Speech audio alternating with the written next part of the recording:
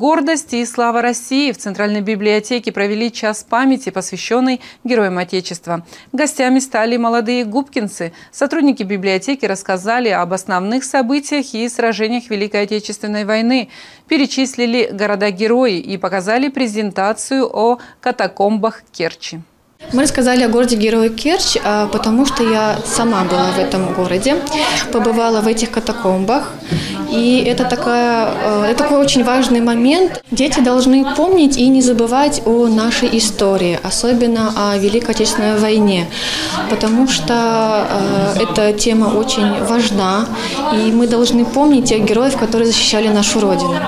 Также собравшиеся приняли участие в тематической викторине и почтили минутой молчания память погибших за нашу отчизну.